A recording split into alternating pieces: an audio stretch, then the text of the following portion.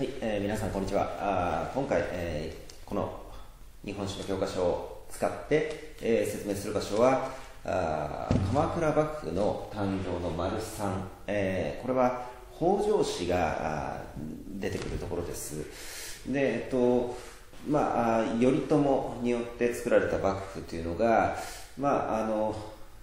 結局3代で、えー滅びてしまうんですね、えーしかし鎌倉幕府自体はあ残っていくわけです。じゃ誰がっていうと、えー北条一族、えーこれは頼朝の奥さんの北条政子の家系ですね、えーここが、まあ、幕府を、まあ、存続させていくわけです。で北条氏って結構面白いんですよ、えーっていうのは何かというとえーこれ後にあの上級の乱って今日やりますけれどもじょえっ、と上、えーこうですね。上級の乱、えーこれはあの武士があの天皇と、まあ、真正面からぶつかって、えー戦ったというものですねで、えっと、天皇の敵になるえーこれはまあ、え朝敵って言ったりしますね。えっ、と、朝廷の朝ですから朝という字ですが、まあこれ朝敵になるとね、結構ね、あの大変なんですよ、歴史上。例えば、えっ、と、えっ、足利尊氏とかね、えー結構、あの、悪く言われますね。えーそれから幕末のえー第15代将軍徳川慶喜と、えーもうやっぱり天皇の敵になったということで、まあ、本人もかなりショックを受けてるし、まあ、後に悪く言われることも多かったというふうに思いますが、まあ、今回の場合ね、えー、とこの北条義時、えそれから息子の北条泰時ですね。ここら辺が中心になって、えー、と上級の乱戦っていくんですけどもあんまりこう悪く言われないんですね。悪く言われないってことは結構評価されてるってことなんですよね、え不思議じゃないですか。そこら辺でちょっとこう考えてみたいなと思います。北条氏はあなぜ天皇とね真正面から戦って打ち負かしたのに後々悪く言われないのかですね。はい。まあちょっとあの覚えておいてください、えーそういう問いがあるってことね、えーでは、えーうん順々に説明していきます。まず北条氏の台頭です、えー北条時政という人物が、まあ、政権になっていきます。これは北条政子の父で、えー彼が、まあ、執権となり執権ってまあ将軍の補佐ですね。で、えー北条頼家というのを殺害する。いきなりちょっと出てきましたがあいろんな出来事がありますが少しはしょってしまってます、えー北条頼家というのが二代将軍になるんですが、えーこの二代将軍のまあ、あの奥さんのお父さん比企能員という人が反乱を起こしで頼家ともどもですね北条時政は排除してしまうと、まあ、頼家があの鎌倉から伊豆に、えー置かれて伊豆伊豆で、まあ、あの幽閉という形で、まあまあ、ある種閉じ込められるで、まあ、1年ぐらい経って、まあ、殺されてしまうんですが、まあ、あの北条時政があの頼家ではなく別の人間の方がいいということで頼家も亡き者にされ、えー頼家の、えー弟の実朝が三代将軍になります。はい。えーでですね、まああのそうですね、北条時政あからすると政子のえっ、と息息子になりますから、まあ実の孫になるんですけどね。えっ、としかしえっ、と殺害してしまうということですね。で、えっ、とそういった流れの中で北条時政はあですねあの、えーこれはあの自分の実の娘、えー政子それから政子の弟の義時にから逆に排除されてしまうという結果を生みますなので、えー丸2番北条義時政権、えーに変化します。で北条義時の時に、まあ、あの実は西の方の後鳥羽上皇が、まあ、勢力拡大していたということですね。えー、と西の方では朝廷が、まあ、勢いを取り戻していると。で西面の物資というのを設置して軍事力もこう増強している中で、えー、と鎌倉では事件が起きます。あの三代実朝が暗殺されるということですね。えー、公暁とは誰かというとさっき言った頼家の、まあ、息子にあたる人ですね。だからまあおじさんと甥っ子の関係になりますが、えー、父の死んだ理由は、えー、頼家の弟の実朝が原因だというところで、まあ、自分の父の敵ということで、えーと、殺した。わけですね。えー、ただ、公暁もその後三浦一族によって、殺されてしまうので、これ2人とも殺されてしまうんですが、まあ、あの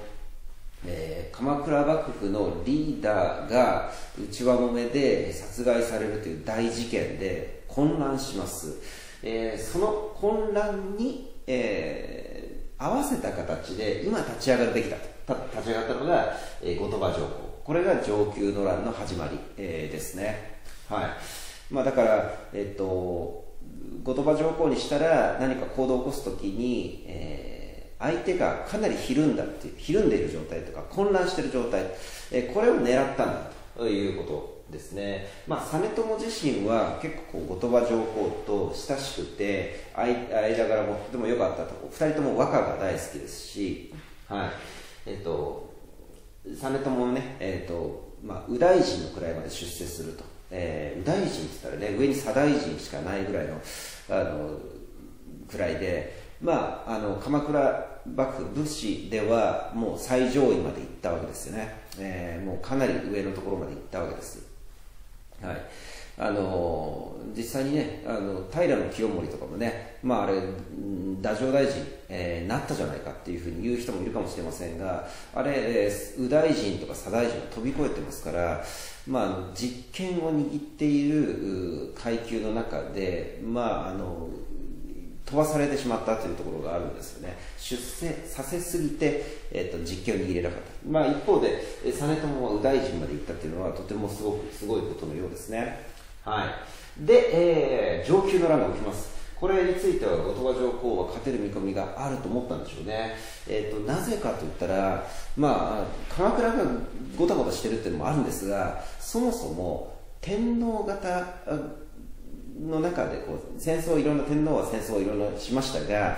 えーと、どちらかに必ず天皇がいてもしくは天皇の子孫とかがいてで天皇同士で戦ったりするわけですよ。平治の乱とかその前の方言の乱もそうですがやっぱりあのどちらがあの主導権を握るかっていう争いについては我こその天皇こそあ自分の天皇こそあの正当だという形で起こってきたと。えしかし今回鎌倉幕府軍には天皇いません、えそして朝廷の方には、まあ、天皇も含めた、まあ、上皇が中心になってやっているというところで、まあ、正義は天皇の方にありと、えでこういった形で負けたことがないわけですよ歴史上。ってなるとえもしかしたら負けちゃうかなという雰囲気はあ鎌倉幕府内には出てくるわけですで、えー、そういった中で実はこの北条義時方が最終的には勝つ幕府方が勝利、えー、という形になります。えっ、ー、とそうですね。でこれ皆さんの中ではもしかしたらあのまあこれ最近結構よく言われることなんですが後鳥羽上皇は幕府を倒そうとしたというふうに言われるけどそれそうじゃないんじゃないかと。えー、鎌倉幕府を倒そうとしたんじゃなくて鎌倉幕府は認めるんだけど北条義時を取り除いてほしい。ということで、えー、乱を起こしたっていうふうにね、えー、言われています。でこれ実際そうだと思うんです、えっと、後鳥羽上皇は幕府を廃止ということじゃなくて幕府の機構機関は認めるけど義時を排除しようっていう話ですね、えー、しかし、えー、この後義時それからお姉さんの政子この2人がやっぱり、えー、鎌倉幕府をまとめ上げるわけですがまとめ上げ方がどうだったかというと、えー、今我々幕府は滅亡しかかっている中で、えー、この幕府を作ってくれたのは誰か頼朝様だろう。で頼朝様の恩を感じるんだったら、えー、それに報いる行動を取りなさい。ということで、えー、まあ北条政子の演説有名ですが演説するわけですよ。これはだからすり替えです。えっ、ー、と、ほうえーと、後鳥羽上皇は義時だけ、えー、取り除いてという要求を出してるんだけど、え義時とか政子が言うのは後鳥羽上皇は幕府を潰そうとしてるんだ。だから我々まとめなきゃいけないね。という理屈に書き換えてるってことですね。でこれをあの武士たちも信じるわけです。まああのまとめ上げ方なんですがあのとてもあのあの武士たちに響く言葉だと思います。で実際まああのえー、後鳥羽上皇は義時だけとか言って言うかもしれないけど後々あのこの乱で、えー、上皇方が勝利したら自分たちどういう目に遭うか分かんないなっていうところからもきっとあの北条政子の演説っていうのはあの心を打ったんだと思うんですよね。まあでもそういうテクニックもさることながらですね北条政子自体、えー、すごい人だなというふうに感じます。えっと知性とかだけではなくてそもそもメンタルがよくたあ持ったなという感じですね、うん、あのこの難局を乗り切るためには相当強い精神力がなきゃいけないんですがそこまでの間に政子に一体何があったのかというとそもそも自分の夫は先立たれてしまうと、えー、で息子はというとあの頼家がまあ殺されさらにはそのもう一人の息子も殺される。しかも殺され方が自分の孫が自分の息子を殺してるわけですよね、えー、苦行が実朝まあ、もう一人一万っていうのもいたんですがこの時、まあ、殺害されてますので、えー、いわば自分の子供2人孫2人を殺されている。しかも殺され方は自分の孫が自分の息子を殺したりまたは実の父親が自分の子供を殺したりという形になっているわけですよね、まあ、そもそも自分の子供が1人死ぬだけでももう本当に、えー、気持ちがあの正常に保てないという人はほとんどだと思うんですよね。でそんな中でえっと、自分の親族同士殺し合ってるのを間近で見ていてでそこでさらにこういう苦難が襲いかかってきた時に彼女はどうしたかというと頼朝の代わりに、えー、人前に立って演説をしまとめ上げていくわけですよね。いや相当すごい人だというふうに思います。はい。すごいと思いますね。はい。えー、北条政子という人物をちょっとまあどういう感じだったのかっていうのは知りたいところですね。はい。すごいと思います。で、えー、これで勝利したわけですが戦後処理がすごいですよ。まあ、勝った側が武士があ天皇に対して、えー、もしくは上皇に対元天皇の上皇に対して、えー、島流しを命じていくということですね、えー、普通はやっぱり権力の上の人立場の上の人が下の人に対して命じることなんですが、えー、後鳥羽上皇、えー、土帝上皇純徳上皇の三上皇は、えー、島流しだ。いうことで、そう沖ノ島とかね佐渡島とかに流されていくわけですよね。で、えー、あの天皇も辞めさせられて新しい天皇が即位するってこともありました。でまた京都に六原短大というのを設置します。これはあ六原ってねもともとあの、えー、平清盛が住んでたあたりですがここに天皇の監視所っていうのを設けてえー、代々あの北条氏がこれをあの担っていくわけですよね、えー、さらに新保持島というのを設置します。でこれ新保持島っていうのは本保持島というのと違っていて、えー、これどういう違いがあるのかと、えー、実はあの、うん、地頭っていうのは土地の管理ですが、えーと、新保とただ新しくなったというだけじゃないんですね。えーと、土地の管理をするってことは土地からどれだけの税を取るかっていうことにつながっています。で、えー、税の取り方については、えー、昔からあの先祖伝来の土地をこう、えーと、管理する場合は昔の割合で税を取っていったらいいじゃないですか。えー、その現地との、まあ、先祖伝来の、えー、関係性の中で、まあ、前の年もこれだったから今回もこれだねこれぐらいだねって言って、まあ、あの米とかをね、えー、年貢としてもらったらいいわけじゃないですか、えー、しかし新しく支配したあ土地上級の乱以後西の方の土地では税率をこれから新たに設定しなきゃいけない。ってなると新しい税率決まりが必要だから新法立法というのを設けますよと。でこの税率に基づいて、えー、建てられた地頭というのを新法地頭というふうに呼びますよということですね。だから本法地頭と新法地頭の違いは本法地頭は先祖伝来の土地の地頭新法立法新法地頭っていうのは新法立法の、えー、税の取り方に基づいて置かれた地頭というふうに、えー、区別をしてください。で意義ですが幕府の支配は全国に行きます、はい、ということで、えーと、鎌倉幕府のスタートでは関東が自分で、まあ、ある種独立した形で、成立させたいというのが関東武士団たちの願いですが上級の乱後全国にね広がっていくんだということです。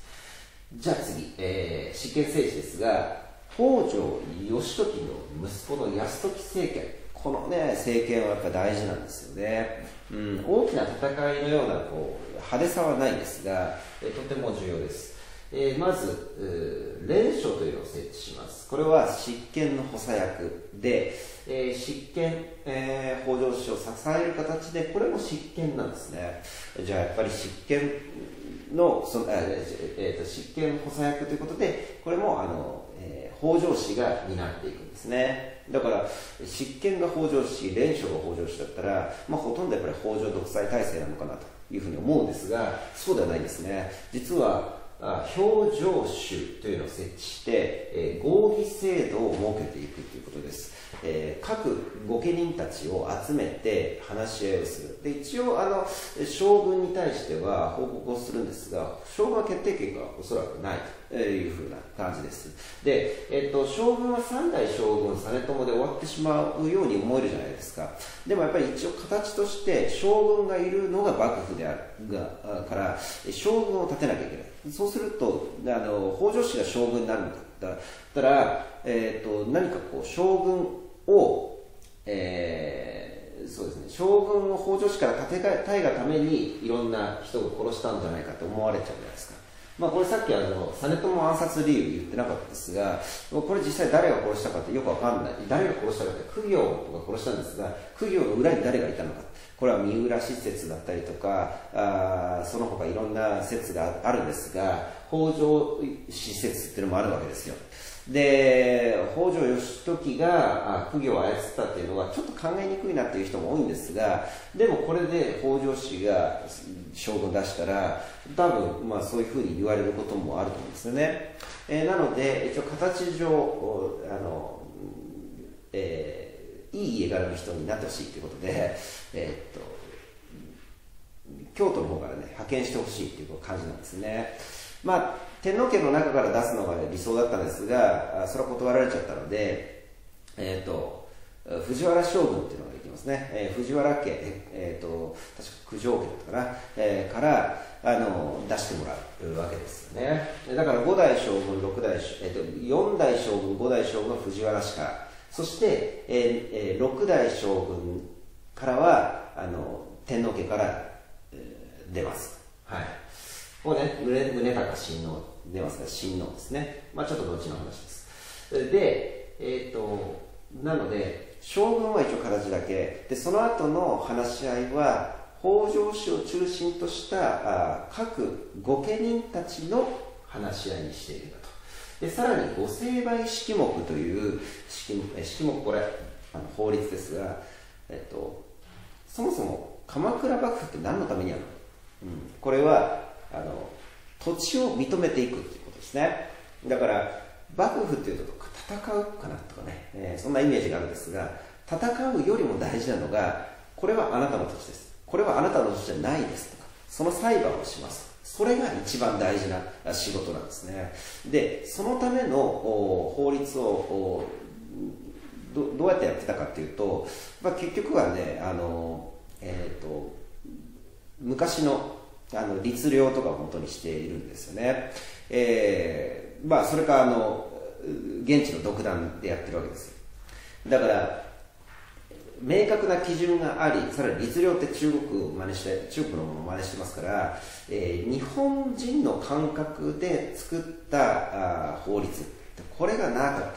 えー、しかしこれを作ったんですね、ご成敗式目、裁判基準ね。で、これで不安になるのは貴族たち、えー、天皇家の人たち。で、これについては、北条泰時は、いや、あの、これはご成敗式目ってね、え、ー、と、律令の代わりにやるんだけど、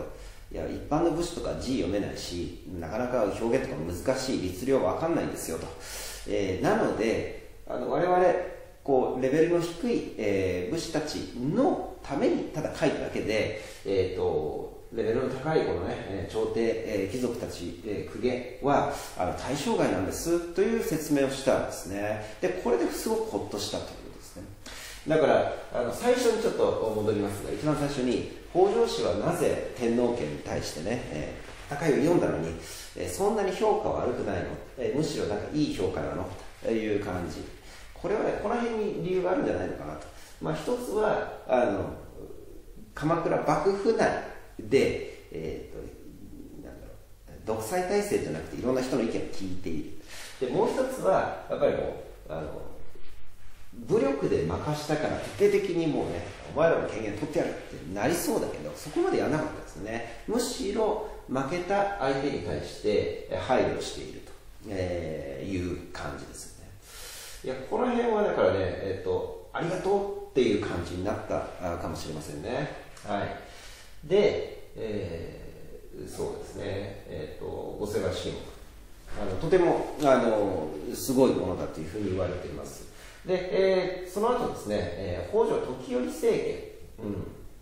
うん、この人は後に、えー、蒙古襲来の時に、まあ、有名なあの北条時宗のお父さんにあたる執権ですね。で彼の時に引き付衆というのを設置して裁判を迅速化を図ったりまた宗高親王という、えー、親王将軍が誕生するなんていうことが起こります。が後々やっぱりねあの北条独裁独裁体制、えー、独裁体制っていうのが、まあ、強まっていくのであのこの後の流れっていうのは、まあ、幕府滅亡とセットで語られることが多いわけですよ。えー、こんだけちょっと北条氏が崩れてしまったからあの幕府が滅亡したんだねっていう話なんですが、まあ、最初のこの執権政治の確立期については、まあ、北条泰時とかかなり評価する学者の人が多い、えー、ような気がしますね。はいえー、この時期の執権政治に関しては、まあ、ちょっとこんな感じで説明してみました。はい、以上で終わります。